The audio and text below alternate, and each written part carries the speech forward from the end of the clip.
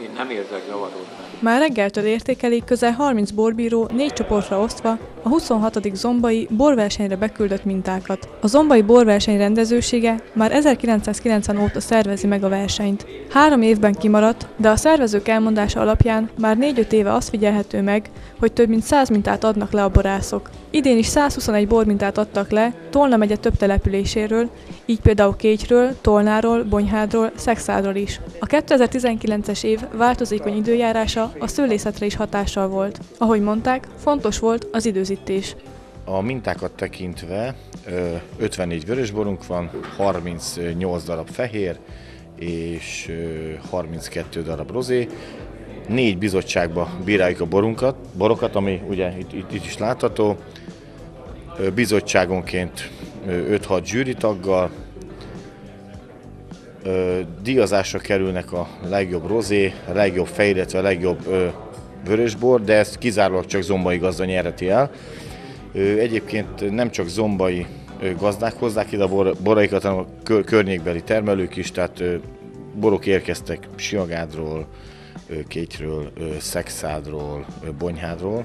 Tehát azt mondom, hogy inkább ez már egy ilyen kistérségi borverseny, aminek a hagyománya tehát évek óta meg van teremtve, és nagyon jól működik. Hát az értékelés az 20 pontos bírálati rendszerbe zajlik, oklevél, bronzezüst arany minősítést kapnak a gazdák. Este, ma este ugye díjazásra kerülnek a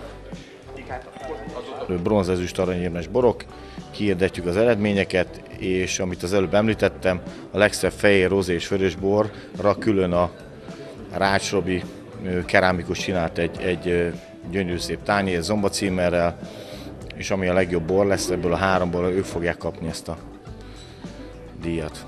Én is már több borversenyen vagyok túl, tehát egy nagyon érdekes évjárateli nézünk. Szőlészet szempontjából az elején egy nagyon kemény peronoszpora járványban volt részünk, tehát ez ilyen május-júniusban. Aki nem használta a főszívódó szereket, csak kontaktszerekkel permeteztek, ott a termésnek már a 20-30 százalék, esetleg 40 is elmehetett virágzáskor.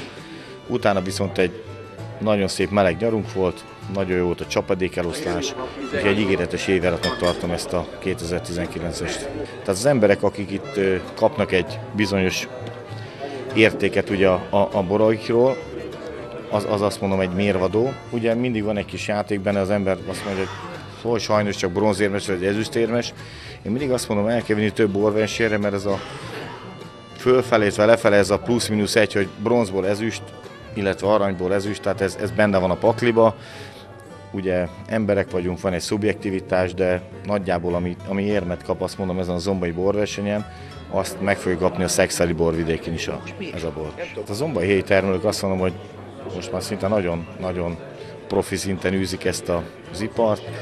Van egy úgynevezett kisföldi pincesor, ahol összejárunk hetente több kóstolásra, tehát egymás borait megkóstoljuk, bíráljuk őszinte véleménnyel, elfogadják a véleményeket, és, és működik ez a rendszer, illetve járunk több helyre az országba és kóstolgatni, tehát más tételeket, más borvidékeket, ezáltal egy picit kifinomul a kóstolás, és, és a saját borokra is jó hatással vannak.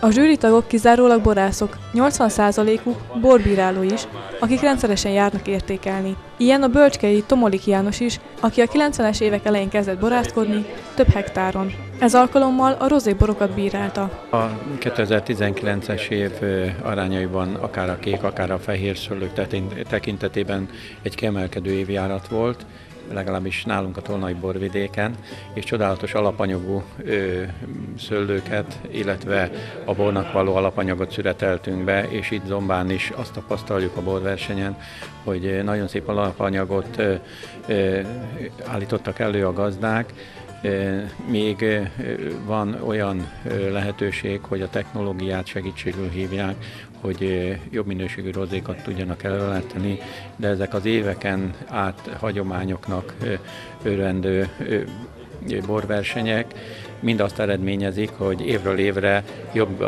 minőségi rozékat kóstolunk. Régen nem volt rozé, mert nem volt technológia megfelelő.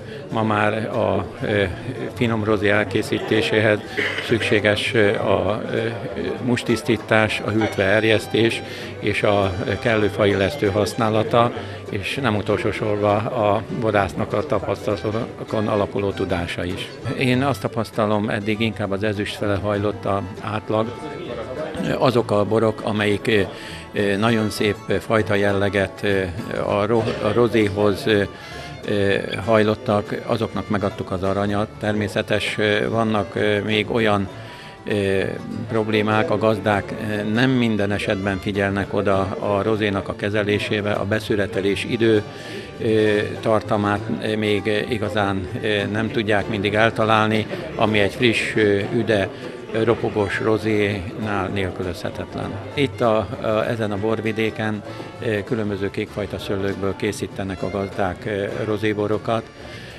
talán én vallom azt, és tapasztalatom is az, hogy a kékfrankos a legjobb, az egyik legjobb alapanyaga a rozébornak, de a gazdáknál előfordul az, hogy pont kékfrankos ültetésük kevesebb, és segítséget hív, segítségnek hívják a kaberni, vagy egy vörösbor alapanyagnak tervezett szőlőfajtát is, és ennek ellenére nagyon szép rozékat tudnak belőle készíteni. A szervezők mindig a rozéborokhoz tesznek be. Nekem egyébként a szívem csücske a rozébor készítése. Talán a legnagyobb volumen a pincészetünkben a rozéborban jelenik meg, hisz a tapasztalat az a borkostolon, a borvacsorákon, a tréningeken, hogy a fiatalok, de még a középkorosztály is a rozéborok irányában kacsingat egy kicsit a vörösborok terhére. Talán az lehet ennek a titka, hogy a rozébor egy könnyű, gyümölcsös, ropogós, üde, nem nagy alkoholos, és nagyon sok borfogyasztó nem, nem igazán az alkoholért fogyassza a borokat, hanem a benne, benne rejlő ö, egyéb ö, kincsekért, illat, íz. A leggyakrabban előforduló hibákat is kiemelték az értékelés során a borbírálók. Kulturális műsor és vacsora zárta a napot. Egy fényképpel talán.